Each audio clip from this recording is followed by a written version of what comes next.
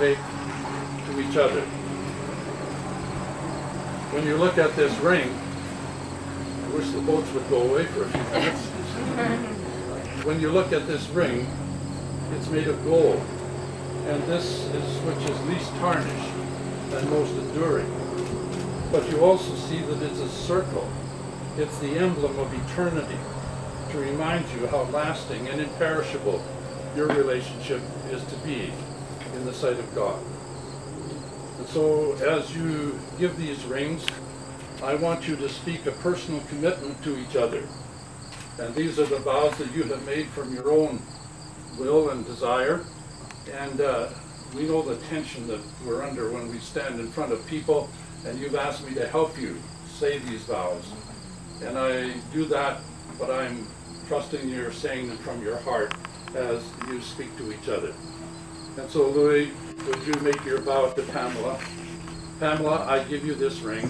Pamela, I give you this ring. Wear it with love and joy. Wear it with love and joy. I choose you to be my wife, I choose you to be my wife, to have and to hold from this day forward, to have and to hold for this day forward, for better or for worse, for better or for worse, for richer or poorer, for richer or poor, in sickness and in health, in sickness and to love and to cherish to love and to cherish, as long as we both shall live. as long as we both shall live.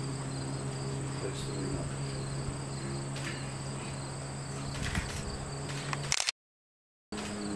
And Pamela,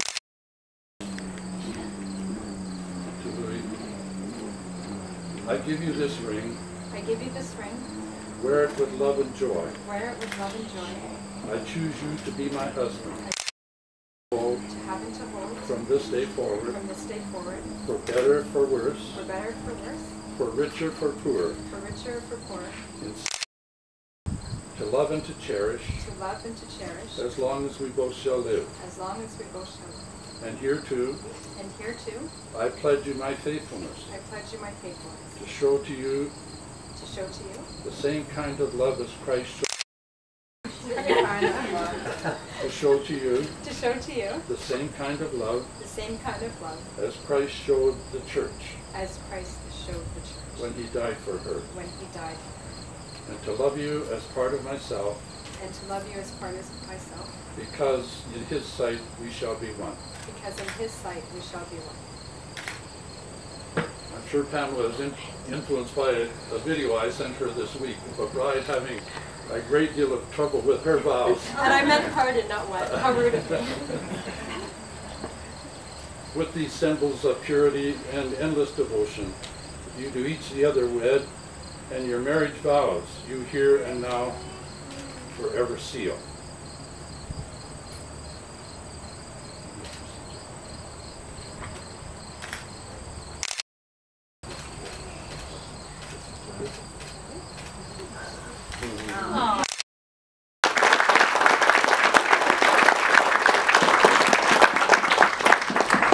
Dean, would you bow with me as I offer a prayer of commitment? Our Lord, you have heard these words spoken from lips that we believe come genuinely from the heart. I pray that you will be with them as they start their journey down life's path together. We know that we need more than just our own will and volition and strength. So we ask you to empower them by your Holy Spirit. I pray that they would walk in your love and that their, your love would be shed abroad in their hearts for one another. Lord, give them special grace and strength. And I pray that these commitments made will be lasting and forever in your sight. And when they see these rings, may they remind each other of the endless commitment that they have made.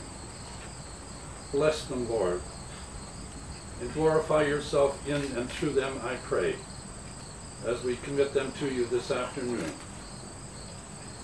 In your precious name, amen. Now, in our ses- sessions together, you want to take your flowers back? We've shared a lot of important principles for you in the sessions that we've shared. I want to sum up some of those principles in my closing thoughts. May they be like precious nuggets that will guide you and direct you in your life relationship. One day I was traveling through the province of British Columbia and I saw a lookout. And I was a little tired, so I pulled off and I went out and took a look. And I saw the most unique illustration of what I thought is the marriage ceremony. You have the Fraser River coming down one valley, the Thompson River coming down another. Very different in color. And at the junction where they met, it was interesting to see the upheaval and turmoil that went through. But as they joined together, they started down the Fraser Valley as one. Different in color, but a beautiful picture, I think, of how a man and woman come from different backgrounds, with different upbringings, but suddenly they come together. The very fact that they're man and woman sometimes creates that initial upheaval. And in courtship, you get to know one another, hopefully, and you begin to work out the issues where there are tensions, and you begin to understand what you need to give to your marriage to make it work. You have so much going for you. You have the deep love for each other. I believe I've sensed that as we've spent time. You have the support of your family and your friends who wish you their best. You have a good standard of living. You have personal experience and a strong Christian influence. You have the Word of God with life. And you have the Holy Spirit that God has promised to give to those who want to walk with Him. But I remind you one thing. Happy marriages do not just happen. They have to be created. It's not so much finding the right partner as it is being the right partner and seeking to fulfill the life principles that God gives to each of you. I'd like to give you four principles as reminders, key reminders. And I use very personal physical illustrations. May I encourage you to walk hand in hand. Now the hand, hand is a symbol of friendship and fellowship. I want to urge you, make time to be the best of friends. Unfortunately, so many in marriages never have time to develop their friendship and their relationship.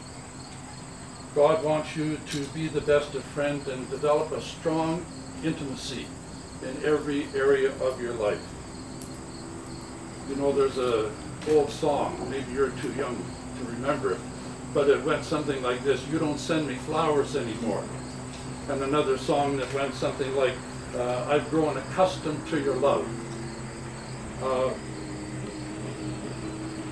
that so often happens in marriages. We take each other for granted and we begin to find ourselves drifting apart rather than cultivating that intimacy, that relationship, that friendship that needs to be there. You must create that relationship.